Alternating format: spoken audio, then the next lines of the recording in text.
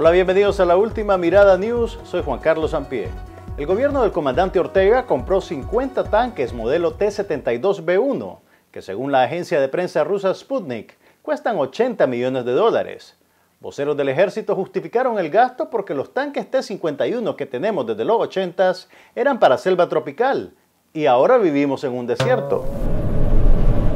Nuestro país no está en guerra con nadie y no enfrentamos ninguna amenaza o conflicto que amerite este tipo de armamento, pero los tanques son necesarios para asegurar nuestra victoria en una nueva disciplina de deporte extremo.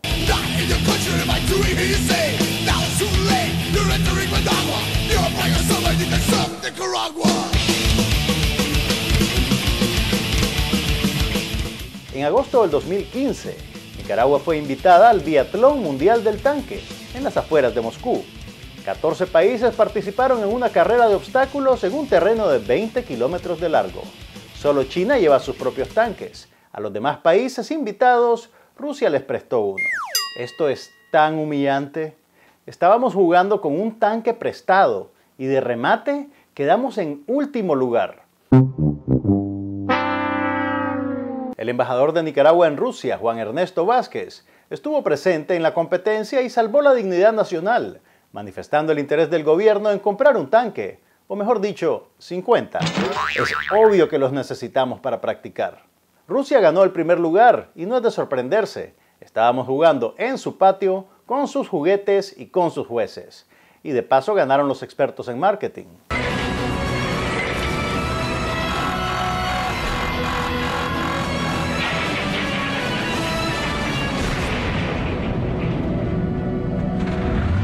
...50 tanques de un solo es venta loca... ...y por 80 millones de dólares... ¿Se imaginan el tamaño de la comisión? ¿Y quién se llevará la comisión? Espere el debut de los tanques en el próximo desfile del Día del Ejército.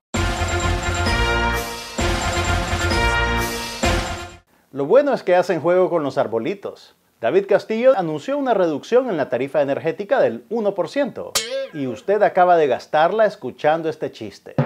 Chingwei, la empresa de telecomunicaciones de Wanjin, inició oficialmente operaciones en Nicaragua con el lanzamiento de la marca QTEL, tan solo cuatro años después de que Telcor le adjudicara una licencia en bandeja de plata. A pesar de la lentitud, QTEL será la empresa de telecomunicaciones más rápida del país a la hora de acaparar contratos oficiales. Los videos promocionales de la compañía destacan la libertad de pensamiento, libertad para compartir y libertad para disfrutar. Todo esto tiene muy emocionada a la gente en China, donde el Internet controlado por el Estado bloquea cualquier sitio que se aleje de la línea oficial del Partido Comunista. Olvídense de Nicaragua, ¿cuándo empieza QTEL a operar en China?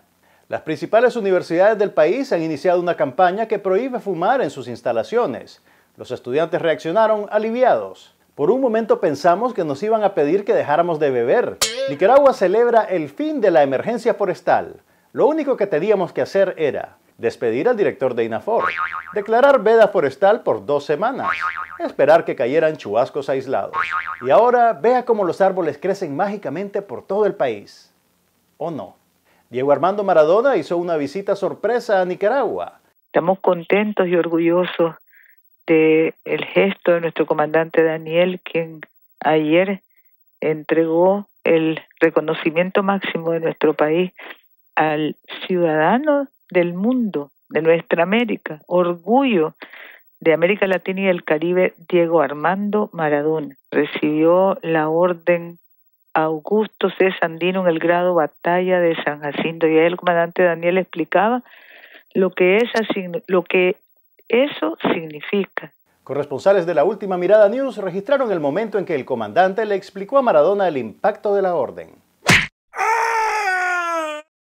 El pecho del luchador, del gladiador, de la y la justicia. No fue sino hasta el final de la ceremonia que le aclararon al comandante que Maradona era futbolista. Ortega creía que era el Capitán América.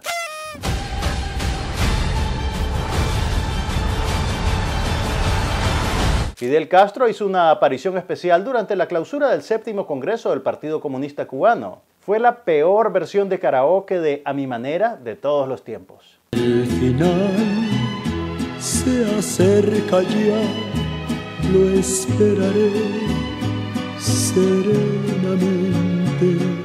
ya ves, y a mi manera. Canatur desmintió que existiera un hostal de sexo libre en Ometepe. Al día siguiente, alguien fundó un hostal de sexo libre en Ometepe. ¿Quién los manda a andar dando ideas? No, no se preocupen. De hecho, ningún viajero tiene sexo libre en Nicaragua. Siempre hay coimas, propinas, impuestos. Buenas noches.